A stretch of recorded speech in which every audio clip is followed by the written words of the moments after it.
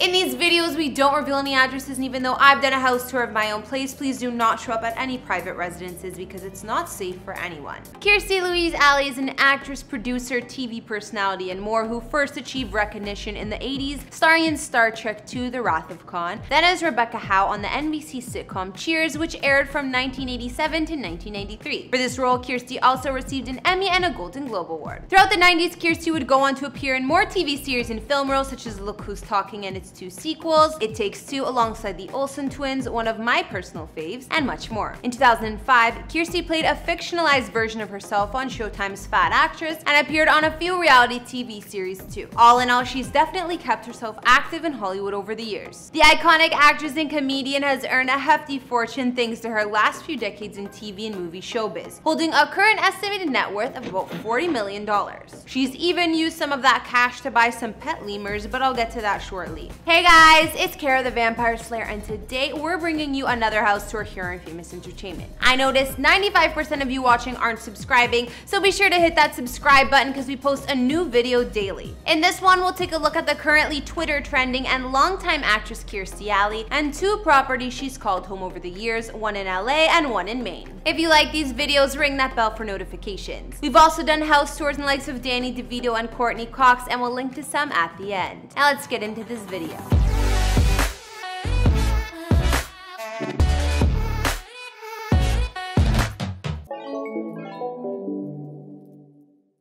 Just last year, it was reported that Kirstie had put one of her homes on the market, a grand mansion in the Los Feliz hood of Los Angeles. But it doesn't appear she sold it yet. Although she's wanting to say cheers to the home, finding a buyer hasn't come easily. She even had to chop $1.2 million off the price tag. However, Kirstie bought the mega home back in 2000 for around 2.9 million. So even lowering the asking price from 11.9 million to 10.7, she still stands to turn a hefty profit for the place. Kirstie's mansion was built back in 1932 and described as a palazzo because of its intricate Italian influenced design, which makes it a standout among the other old Hollywood residences in the area. Situated on the historic Aberdeen Avenue, the actress's home offers almost an acre of lawns and foliage, backing right onto the famous Griffith Park. A unique bonus of her home, she has a lemur habitat on the property. At the end of a long gated driveway, you'll arrive at Kirstie's lavishly detailed estate, which spans 8,622 square feet feet inside with six beds, five full baths, and two half baths. The villa retained many of the historic touches from years prior, including hand-carved woodwork, painted murals, gilded moldings, and decorated fireplaces. Just viewing the photos of Kirstie's home and the place looks like a palace. At first, Kirstie's home boasts a circular entrance gallery lined with blue tone murals,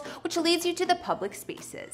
There's what looks like a great room or salon, with wood paneled walls, beamed ceilings, and an opulent chandelier, while some of the other common rooms offer gorgeous fireplaces. Her kitchen has been updated with an island, modern appliances, tile walls, and high vaulted ceiling, and it's gotta be one of the nicest kitchens I've seen. There's even a beautiful chandelier over the center island. The butler's pantry and sun-drenched breakfast nook have been left intact, as well as the outdoor kitchen which you can access via French doors. The most dramatic features may just be in two of Kirstie's bathrooms, where one features scenes of underwater sea life complete with jellyfish tentacles dangling overhead. The other is based on a tropical garden and shows flowers blooming everywhere. The bedrooms in the Palazzo Mansion have classic features as well, many with chandeliers, archways, and large attached terraces. The most spacious of which is, of course, Kirstie's master suite that's also beautifully decorated. Outside the mansion, the elegant old world grounds include fountains, grottos, ponds, and perfect landscaping. Not to mention, like any good celebrity mansion, Kirstie has a pool with a fountain shaded by trees, which she's no doubt gotten to enjoy over the years living here. I do wish we had photos of her pet lemurs though, I wonder if she's built a new home for them when she moves. While the steep asking price for Kirstie's home as well, steep, it's not the highest priced property listed in that zip code right now. There are a few in the ballpark of 20 million, which are also pretty grandiose mansions to say the least.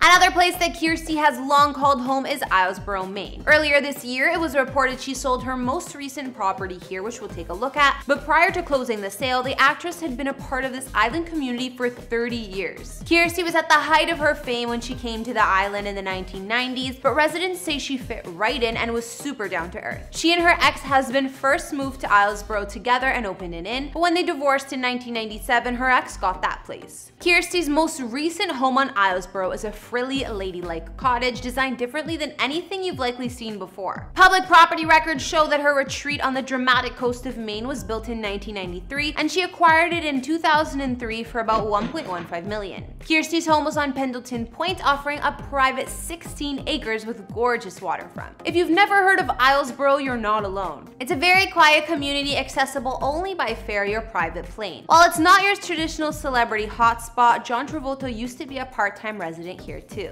Inside, the 12-room cottage offers 3,400 square feet with 5 beds and 4.5 baths, and listing materials describe it as having the beauty of the new and charm of yesteryear. The architecture is full of cozy nooks, fireplaces, and natural lights. High ceilings, custom woodwork, and more make the place a perfect retreat. Somehow, the super girly and frilly interior design is kind of cool, at least in my opinion. It's definitely an acquired taste, but with lots of pink, even a pink kitchen, but I like it. There are beamed white and pink ceilings, walls that follow the same color scheme, and some with floral wallpaper. The common spaces include the country kitchen with Viking brand and retro style appliances, and a few different living and dining rooms with floral furniture, fireplaces, and beautiful chandeliers in almost every room. Kirstie's cottage looks like something off of Pinterest. Plankwood floors run through the main living areas, and in the formal dining room, there's a built-in buffet. There's a gigantic pantry with vintage wash sink, portable work island, and rows of open shelving. Each of the bedrooms and bathrooms have the same girly and powdery vibe and resemble a high-end bed and breakfast. Beautiful and lushly maintained gardens surround the house as well as multiple porches and decks, including a covered one with outdoor fireplace. A dining deck off the main living room offers a view of the coastline and Kirstie's home sits right on the shore. A sprawling deck and pier round out this waterfront estate. Kirstie apparently sold her home with an asking price of 2.3 million, but assures the community she's not done with Islesboro just yet. She posted on the Facebook group, I love Islesboro and will miss you all. My family and I have some of the most memorable times of our lives here. We hope to return for more summers in the future. To any of you here who have touched our lives, thank you.